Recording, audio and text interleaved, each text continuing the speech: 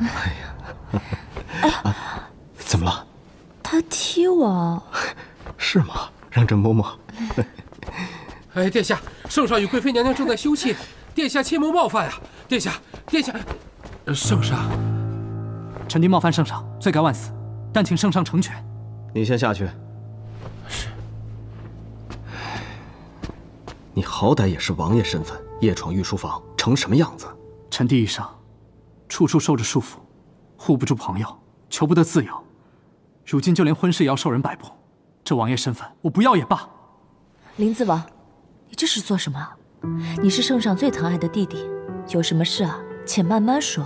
皇兄，臣弟已是无计可施了，母后和薛家一个个都要逼我娶薛叔，可在我心里，我早有主意之人。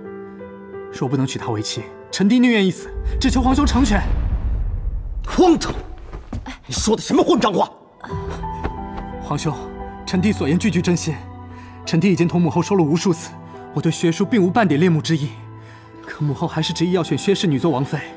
现在唯有皇兄能替臣弟做主了，求皇兄开恩，全了臣弟的心意吧。你，圣上。哎呀，殿下，你就少说两句吧。